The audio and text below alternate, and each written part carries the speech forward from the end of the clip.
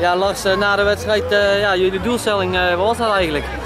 Ja, we hadden eigenlijk als doelstelling in ieder geval veel plezier maken en ja, onder de 10 zou mooi zijn. Dus dat is gelukt. dus dat is heel mooi. Ja, hoe, ja, wat voor jezelf van je eigen spel? Ja, kijk, je weet dat je tegen die gasten volle bak erop moet. En ja, eerste helft stonden we goed te voetballen, 0-1. Uh, ja, krijg je een lullige corner uh, om je oren, maar uh, ja, mijn eigen spel, ja, goed, veel verdedigend, aanvallend, weinig tot niks kunnen laten zien. Maar ja, ik denk dat het gewoon een mooie pot was en na een uurtje spelen zat ik wel aardig doorheen moet ik zeggen. Ja, maar als voetballer wil je nooit verliezen, dus eigenlijk baal je nou wel denk ik. Ja, je baalt wel, maar ja, van tevoren weet je dat, dat zo'n pot, als je onder de team blijft, is het gewoon perfect. En ja, de eerste helft was gewoon geweldig. Dan krijg je, wat ik net zei, een lullige corner om je oren. Eh, slim genomen van die gasten, maar ja, eigenlijk eh, moet je gewoon met 0-0 gaan rusten. En uh, ja, dan doe je het gewoon perfect denk tegen NAC. Ja, ik denk dat, dat jullie een dikke prime hebben verdiend.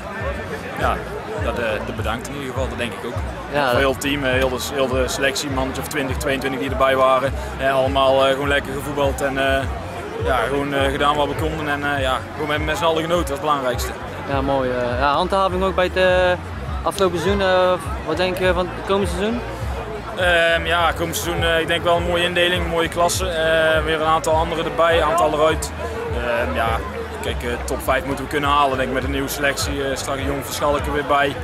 wat jongens uit de A-jeugd, met name Joep Bulkmans, Teun Bulkmans, jongens die sluiten aan. En ja, het zijn gewoon jongens die fantastisch kunnen voetballen. Dus de concurrentie wordt alleen maar groter binnen de selectie en dat is, dat is positief.